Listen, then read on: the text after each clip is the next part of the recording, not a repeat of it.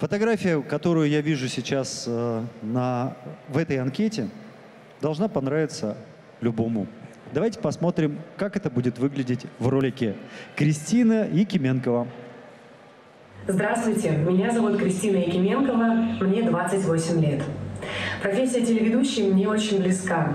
С детства, мечтая блистать на телеэкранах, я двигалась к этой цели. И вот сейчас увидела информацию о проекте и решила попробовать. Опыт подобных съемок у меня есть, поэтому буду ждать решения членов жюри и, конечно, приглашения на кастинг. До встречи!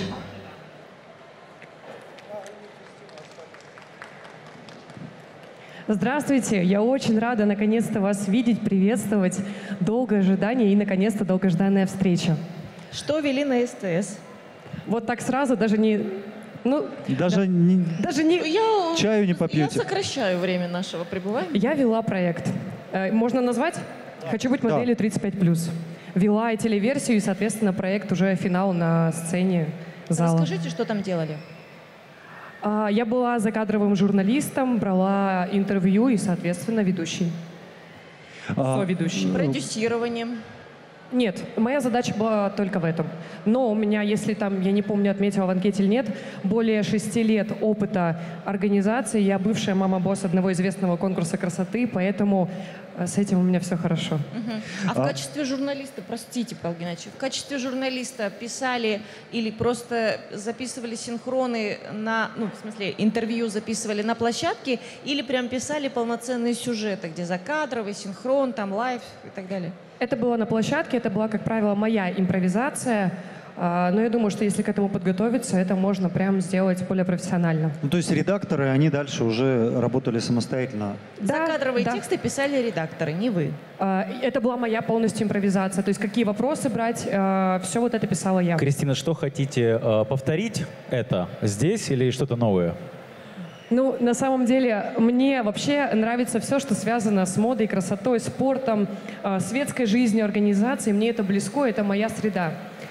Поэтому, конечно, мне хочется вести какую-то подобную передачу. Это может быть какой-то сезонный проект, это может быть рубрика в какой-то крупной программе. То есть в этом плане я мобильна. Чем, что-то подобное говорили некоторые участницы уже за два дня. И на вопрос дальше, э, чем, вот в чем изюм будет именно этой вашей передачи, ответить не смогли. Но вы-то сможете. У меня есть некие задумки, не знаю, конечно, насчет изюма, но я точно знаю, что я могу привнести в эту программу. А, Во-первых, ну, там, о своих, допустим, да, вкратце плюсах. Я знаю, эти вопросы задавали, я к ним подготовилась. А, Во-первых, а, умение работать в команде – это 100%, поскольку у меня была своя команда, которой я управляла, но я также умею работать и в одиночку.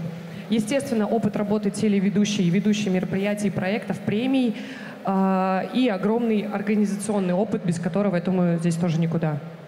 А когда закончился проект на СТС, там не нашлось вариантов э, сделать что-то другое с вашим участием?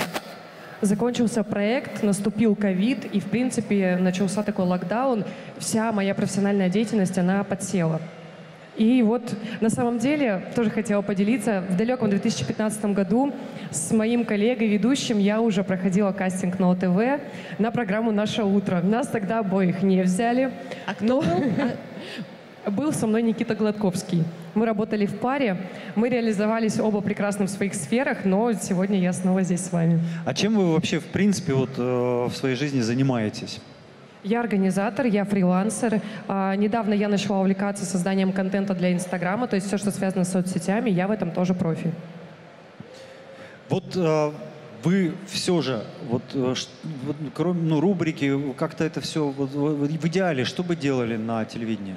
А, Я могу создать свой проект, э, который будет включать в себя, например, да, вот сейчас сходу, там три каких-то составляющих. Это преобразование внешнее, внутреннее а, и связано с бизнес-тематикой. Таких телеверсий у нас нет. Есть разного рода проекты, но которые включали бы в себя обобщающие все вот эти вот э, пункты, их нет. Это может быть и потом премия, это может быть и какой-то проект. А, Он может быть направлен на развитие девушек, мужчин в разных сферах. То есть внешнее преобразование, внутреннее, связано там с психологией, с коучингом и, конечно же, бизнес, Инстаграм, а, не знаю, там коучи определенного формата. Вы могли бы э, в целом, ну, при- в принципе, подготовить какую-то разработку, концепцию проекта, а, чтобы мы потом ее вместе обсудили. Конечно. Хорошо.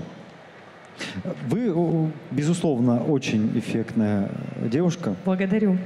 И э, я не знаю, как там... И очень красивый голос. Коллеги, голос хороший, да. Не знаю, почему коллеги вас там с руками, ногами не держали. Я надеюсь, они посмотрят этот телеэфир и пожалеют.